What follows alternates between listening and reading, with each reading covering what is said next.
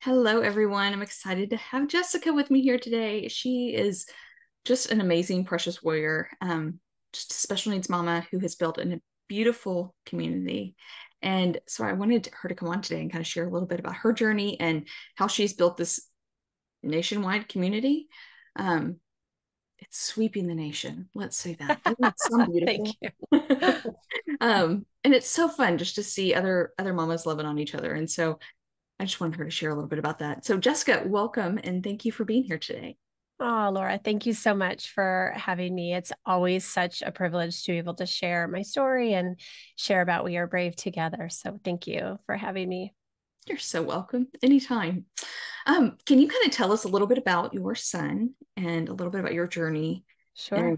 the diagnosis and then kind of what life has been like since then. I know he's a lot older now um, and you have other kids too. So can you just kind of tell us about all the fa- family dynamics and all the things? Sure, absolutely. So, um, thankfully, I've been married to my husband Chris for 26 years. We have three kids: Luke, who's 22 and in college, Ryan, who's 20, who was diagnosed with Prader-Willi syndrome at five weeks of age, and Kate, who is 18, my youngest. And um, when Ryan was born, he couldn't cry and he couldn't suck. He could hardly move. Uh, I was discharged and he was transferred to the PEDS ward. So then I went and lived with him there for a month, not knowing what was wrong. Certainly, we were asking for testing, and my husband found Prader-Willi syndrome online. This was before smartphones. So I lived at the hospital and I didn't look up anything, which was also intentional. Even when I went home, I think two nights of that month, um, I didn't Google anything because I didn't want to fill my head with a bunch of uh, possible diagnoses. I knew that wouldn't help me in the moment. Um, but as soon as we did get a diagnosis, it clarified everything and it put us on a path and a trajectory and, uh, you know, a treatment plan, if you will. So he was diagnosed at five weeks of age kids with the syndrome or babies are born with very low muscle tone and it's a spectrum. So it could be low to very, very low. Ryan was very, very low. Um, he needed a feeding tube. So he had that surgery before he left the hospital and came home. And we were working with an OT that specialized in feeding, and that went on for years. Um, it took about a year for him to not need the feeding tube anymore and be able to fully take the bottle and also take um, food, baby food, whatever was appropriate at the stage. And um, when we got the diagnosis, when you read about it, it's crazy. It encompasses so many, so many things. It's a rare genetic disorder. It's medically complex. Um, although our journey for most of his life has not been uh, medically complex, um, meaning in and out of the hospital and a million surgeries, and he's not medically fragile. Um, in the early years, you're focused on all the milestones because with low muscle tone, all the milestones are delayed. So, gross motor, fine motor, speech, um, feeding, obviously, in the very beginning. And, um, and then what might, well, what does make the news in Prader-Willi syndrome is that in childhood, there's an insatiable food drive that kicks in because the brain and the body don't tell kids and adults with the syndrome that they've had any food. So they walk around either feeling hungry, wanting food, never feeling full ever, and um, always wondering when's the next meal, when is snack, when is this, when is that. And so, um, getting an early diagnosis was extremely beneficial. He was able to get therapies right away, get on growth hormone right away, get into a PWS expert at UCLA who was there at the time. We don't um, have any PWS experts in California anymore, but um, at the time there was one there, which is very comforting. And um, and we were also able to get him onto a food schedule. Um, in the beginning, he was diagnosed with failure to thrive because he couldn't suck and he didn't cry for food. He didn't wake up to eat. He was a very sleepy baby. Um, so you know they put us on a on a feeding schedule but in pws world you have to have a food schedule because it creates food security is a phrase in our world um, so it's breakfast snack lunch snack dinner and for us a sip of milk before bedtime so ryan doesn't get like a, a bedtime snack in pws you have to watch calories um, because there's lower metabolism. And so you have to be very careful. Some kids and adults are on a calorie restricted diet. With Ryan, I'm very, very careful, but I'm not having to count calories. Although in the last couple years, he's had, he's gone from being very, very abnormally skinny, just I, I don't know why we weren't, I promise we weren't um, withholding. He just was very, very um, he i guess he just had high metabolism and also he was on a full dose of growth hormone and when that dose changed and he kind of grew into this adult body he gained a bunch of weight but he still looks okay it's not worrisome. It was worrisome to me at the time when like after a year and a half we saw a big jump in his weight because i was so used to him being you know so so so so skinny but he's he's doing okay. Um so our life because of that food drive is is greatly altered yeah do you feel like that food schedule kind of controls your day a little bit? I mean yes and no um he thankfully is not locked into the clock except for breakfast. I don't know how we got locked into 6 30 a.m breakfast but we did. So it's there. Um he's flexible you know lunch could be 11 30 11 45 12 12 30 um, he's flexible at school. I think he eats his morning snack much later than he usually eats it at home. I'm just i'm so used to it. I'm 20 years in.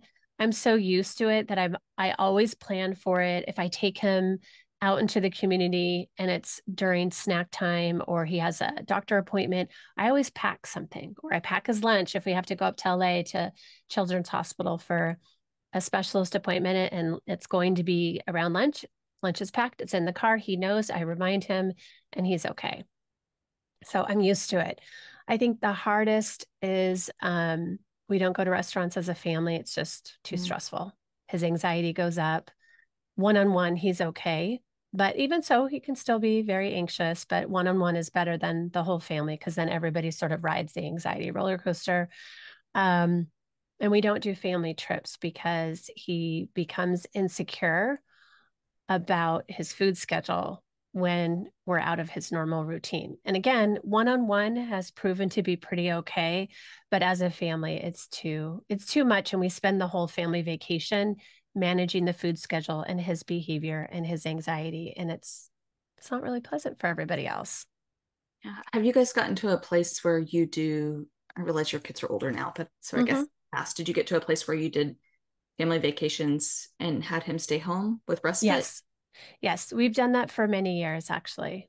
And we've done a lot of one-on-one trips through the years with the other kids one-on-one trips with ryan just to try to to to meet the needs of the siblings for sure because it's very traumatic to grow up with a sibling with a disability or any intense need whether it's mental health or medical genetic developmental whatever whatever it is. Um the other kiddos really really need your attention yeah how how have you found um ways in which to support that to like talk to them about it to mm-hmm. kind of not read their minds, but yeah, you I can't read their kids. minds. Yeah, you can't read their minds. That's for sure. I mean, just like in marriage, we're not mind readers. Well, we can't read our kids' minds. And that's something that I would tell moms earlier in the journey is to tell the siblings they have a voice in the family, that their needs, their hurts, their dreams, their wants, their stresses matter. And just because your brother or your sister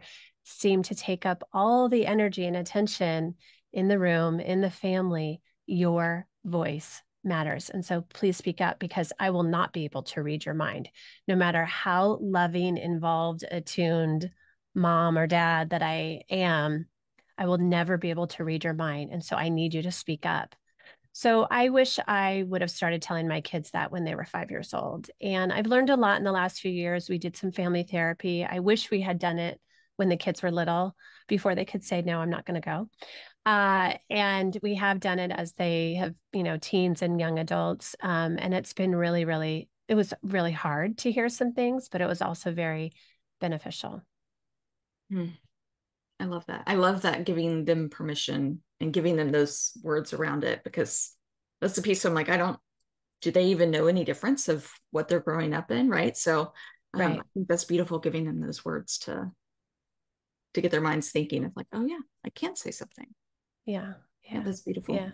Um, I find that a lot of adoptive moms, I know that these are two totally different things that we're talking about, but kids from hard places and kids with um, different disabilities. But so with ours, with FASD, I feel like so many things you're saying really resonate with me. Just like going on trips and the whole trip mm-hmm. becoming about managing them and their behavior and all the things. And I love that you have probably given moms, which I mean, you just did, but just giving that permission of like, hey, it's okay to have respite from that. And it's yeah. okay to go on a trip without without your special needs buddies for a while so that you can relax and let down and be with your other people and really enjoy that and it not be just work and just like it felt so much more stressful going on trips um mm-hmm. with special buddies. And so I love that I love that y'all did that too. Thank you. Yeah, I'm giving you permission to one, take care of your own mental health and to take care of your marriage and to take care of the siblings and and it's so okay and so normal to feel like you need a break and that you want to have a family vacation with your other kids. It's so it's so okay. It's so okay. I love that. I feel like people need to just listen to that little snippet on repeat. Um, that's beautiful. Okay, I want you to tell us all about We Are Brave Together because I, I just I'm amazed at how you've built up this community and um, yeah, just tell us about it. I won't okay. my words. Thank you. Thank you. Thank you. So We Are Brave Together is a nonprofit organization that I started um, with the help of great people in my life, including my husband. Uh, we launched in 2017. We had a logo, we had a business card and we had an Excel spreadsheet of about 100 or 120 moms who are interested in being involved in a supportive community. Um, and then we just launched. We launched with um, a summer party in my backyard. We shared our dream, we shared our vision, we told some stories, and we gathered about 60 moms and we launched. And then we um, we were able to get our nonprofit status in 2018 and start fundraising. And we launched with the intent, and it's still our intent today, to combat the isolation and the loneliness, the burnout, the compassion fatigue that caregiving moms face. And so we are open to every mom, even if you're a sister caregiver, grandmother caregiver, we're very mom centric. If you're, oh, um, if you're a, a caregiver to a child any age with any diagnosis. So it's not just for moms who have kids with Prader-Willi syndrome, which is Ryan's diagnosis. It's literally any diagnosis, including mental health, including learning disabilities, including ADHD, which, you know, most people don't think of as like special needs or disability, but um, really anything. If you've got a child with a genetic disorder, medical complexities, psychological complexities, anything, you are welcome to be a part of We Are Brave. And you know, whether you feel like, well, my kids' struggles are kind of light and I don't know if I qualify, Yes, you do. When your child struggles with anything to whatever degree, it changes your motherhood experience. And it also adds a lot of extra care and attention and appointments and therapies and tutors or what have you.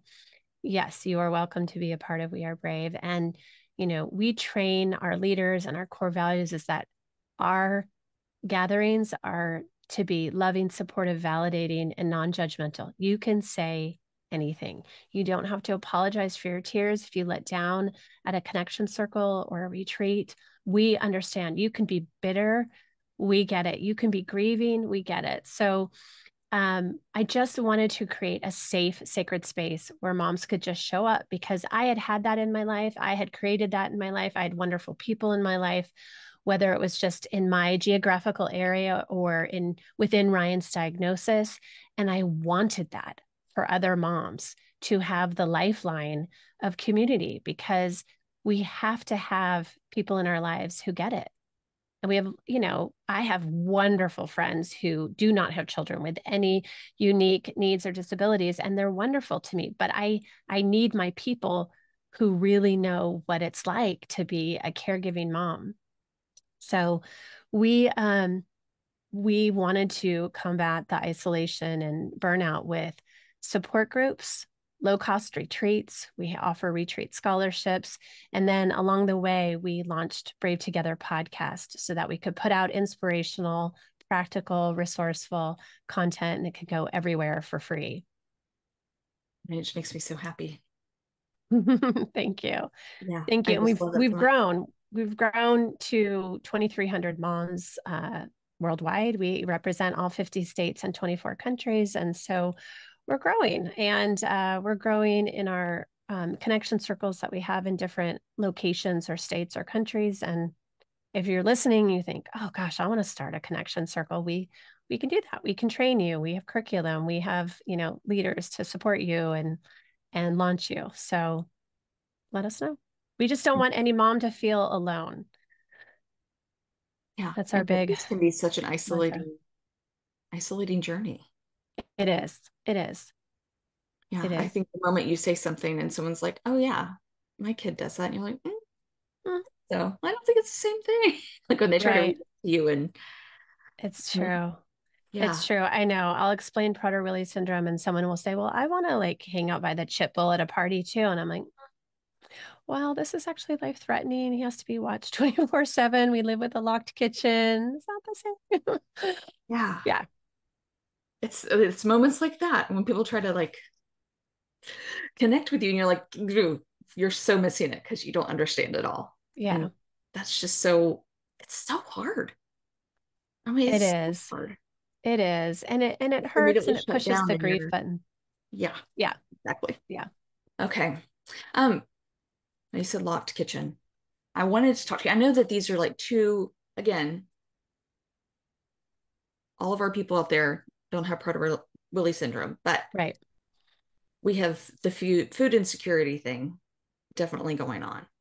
I feel like the impulse control, the or the lack of impulse control mm-hmm, mm-hmm. and just that need for controlling of food is is a big thing in the adoption community mm-hmm. um, and again know that they're two different things but i'm just right. curious what are some tools that you have put in place to kind of help regulate those things i mm-hmm. i love the hey we're having this schedule breakfast lunch dinner snacks in between mm-hmm. um, yeah i think having a food schedule you know, reassures Ryan and we talk about it and we reassure him every day. You know, often it's not as often as before, but he used to come in every morning. Who's going to feed me my breakfast?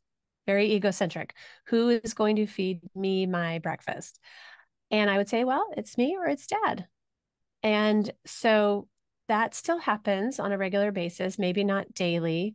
So I think having a food schedule and talking about this food schedule, and we don't we don't have to post it visually, but I think um, for for families who are dealing with a lot of food insecurity in the adoption realm, I would post the schedule. I would post the schedule. Um, I mean, and I would give yourself a range so that you don't get locked into times because real life, you can't be locked into times, right? Even if you had only one kid, you can't be locked into times because that's just not life. But you could give a range, right? 11:30 to 12:30 is lunch, you know. Um, you could post what the menu is, you know, all the dinners for the week because that's, you know, easier than like 21 meals posting. I'm not a meal planner.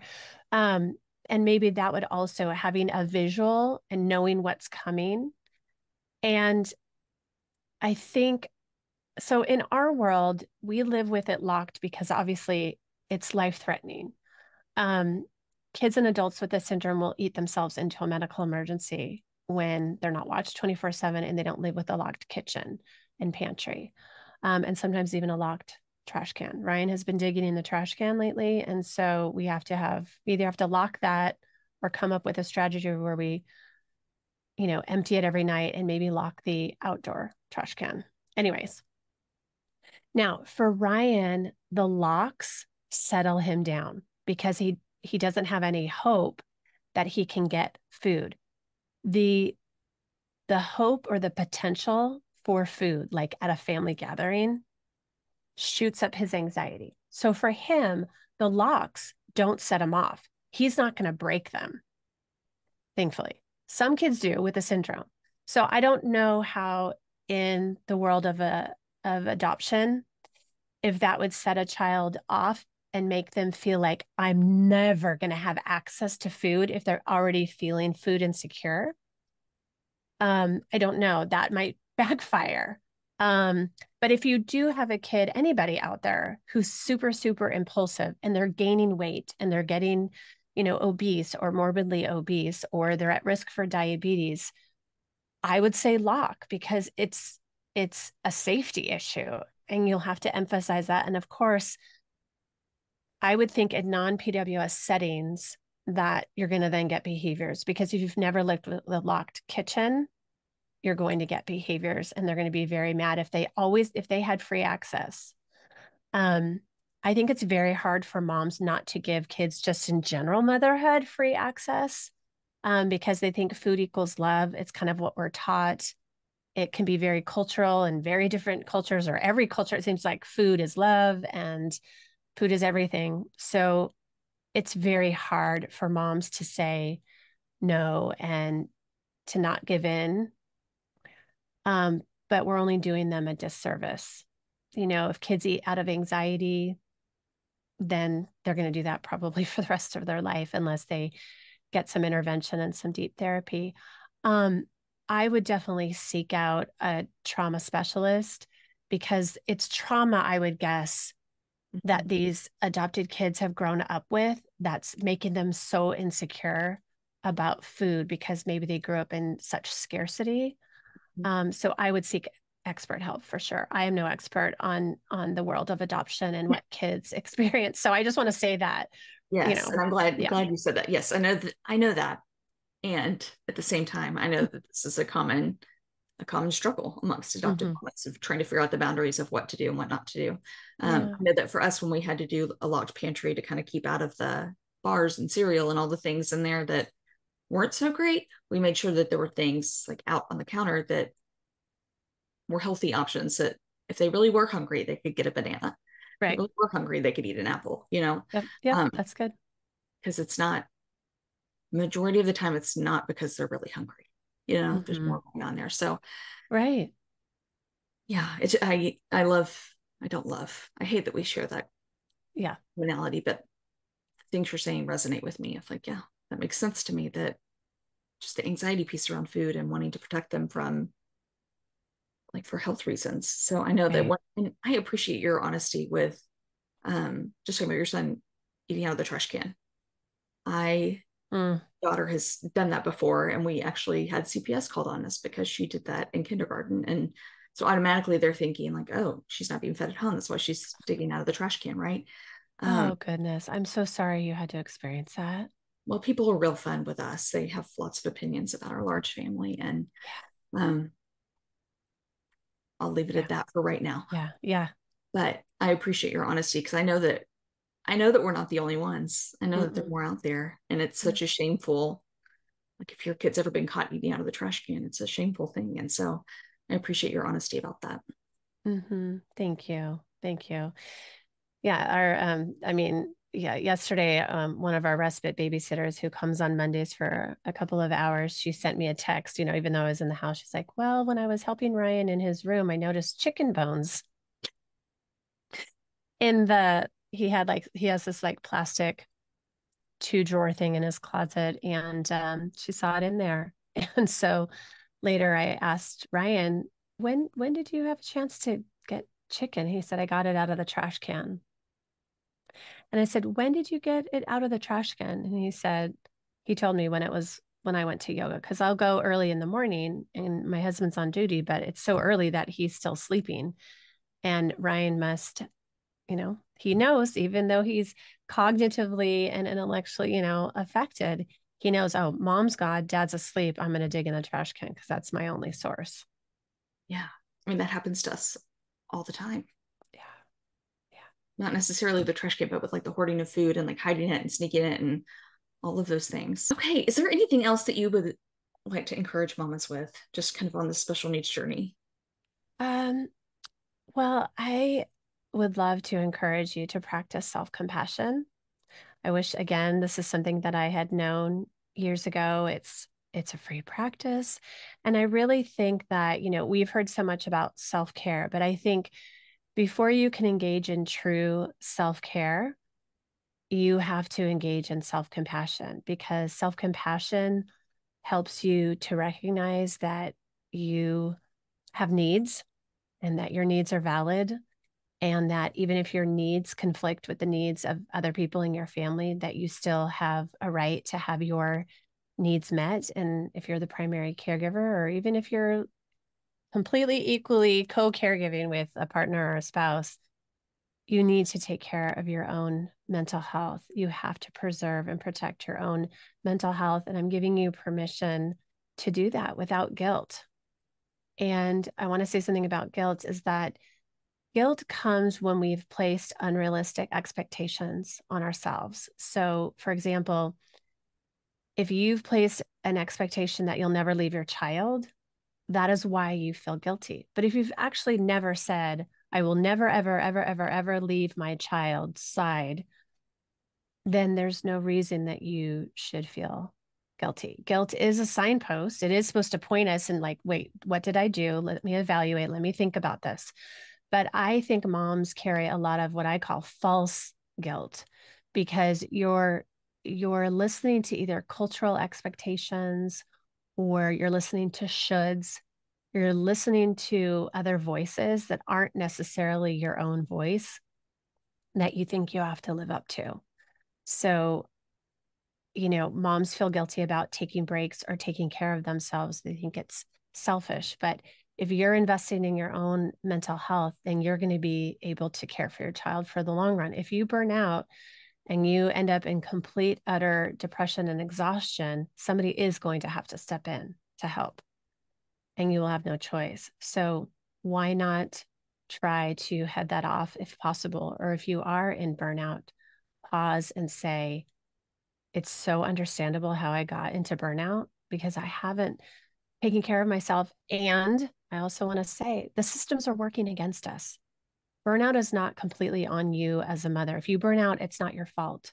We have systems working against us. We don't have enough respite help. We don't have enough respite or support care professionals, whatever you want to call them, to help us. And if you have a child with extra needs, I honestly believe you should have help every single day. Like that should be given to everybody especially if you work and even if you don't work. We should have help every single day because we have so much extra on our plate, physically, mentally, emotionally. And that's not available, is it? I mean, there are a lot of moms who are not getting the services that their kids need. Their kids are spending a lot of time with them under their care when there should be professionals and therapists and OTs and PTs and, you know, behaviorists and nurses who should be a part of their everyday life. And so many moms don't have any of this. And so, of course, we hit burnout or we're at risk for burnout. So, I would say speak kindly to yourself, try to practice self compassion over self judgment. That's a starting place.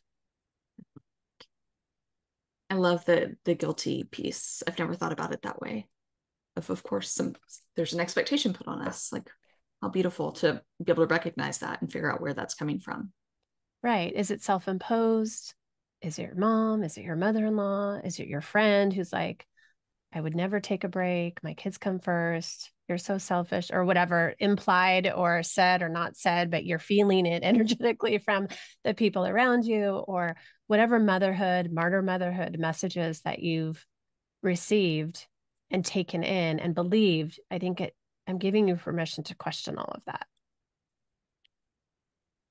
I'm so grateful for I'm like I feel like you've given us so many little nuggets of permission today and I hope people really take that to heart and really listen because I think they're so valuable and important. Um, Jessica, thank you. Will you tell everybody where they can find you? Oh, yes, absolutely. So if you are a mom and you would like to join We Are Brave, you just go to our website, check us out, everything that we're offering, wearebravetogether.org. We're on Instagram at We Are Brave Together. We have a Facebook page, and our podcast is on many platforms, and it's called Brave Together with Jessica Patay. Would love for you to to listen and have us be in your ears. Yeah, it's hoping so you feel less alone. It's so encouraging. So, for sure, listen in on that. thank you. Thank you. Thank you so much.